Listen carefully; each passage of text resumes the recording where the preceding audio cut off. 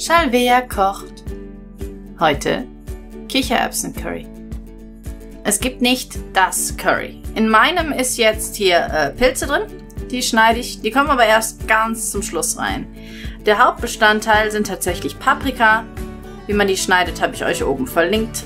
Hier ist es ja ein relativ fix. Dann haben wir äh, Hühnerbrühe noch hinten drin. Das kann man sehen. Hier die Zwiebeln noch eben geschnitten. Auch das langsam oben verlinkt. Dann mache ich das Ganze meistens mit Hähnchenbrust. Man kann jedes Curry aber auch vollkommen vegan machen. Erst wird das Huhn angebraten.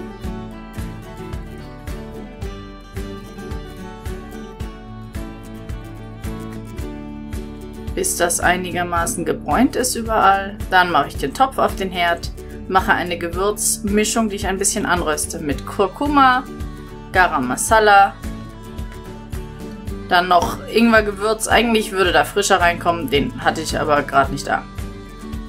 Ein bisschen Kreuzkümmel, den ich persönlich total liebe. Das gibt ein ganz bestimmtes Aroma. Wenn das angeröstet ist, kommt die Paprika dazu und wird mitgedünstet. Dann kommen die Zwiebeln oben drauf und der Fond mit rein und dann wird das ein bisschen köcheln gelassen. Dann tue ich ein klein bisschen zur Seite und dann püriere ich äh, die Masse, damit das eine sämige Soße wird.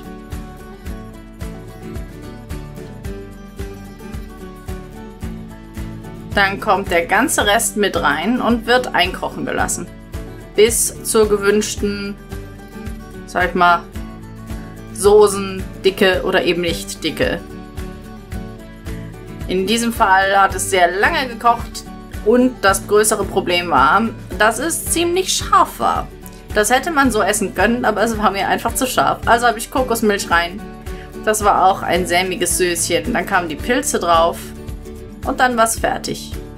Servieren kann man das zum Beispiel mit Reis. In diesem Fall ist das schwarzer Reis. Ja, das Curry dazu.